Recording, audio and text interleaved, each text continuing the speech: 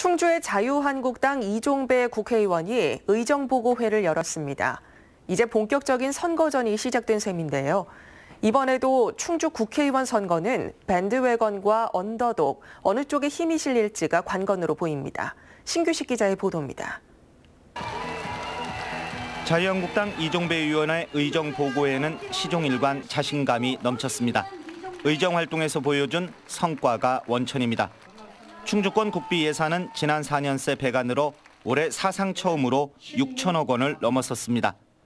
국회 자유한국당 예결위 간사 등 이른바 힘있는 자리가 지역 예산의 폭발적인 증가로 이어지고 있다는 겁니다.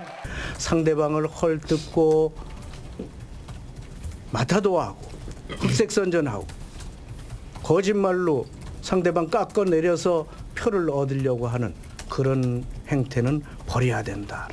중앙당의 열세를 앞선 후보에게 표가 몰리는 이른바 밴드웨건 효과로 돌파하겠다는 겁니다.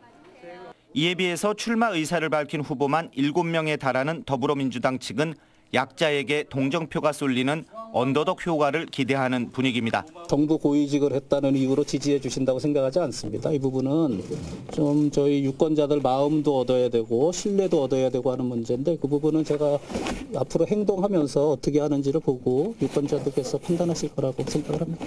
결국에는 전략 공천으로 본선을 치를 것이란 전망이 나오는 것도 이 때문입니다. 정치인들은 이구동성 여야를 막론하고 세상에 쉬운 선거는 없다고 말합니다. 후보가 넘쳐나는 여당도 단일 후보의 야당도 충주 민심을 얻는 일은 이번에도 예외 없이 쉬운 일은 아닐 겁니다. CJB 뉴스 신규식입니다.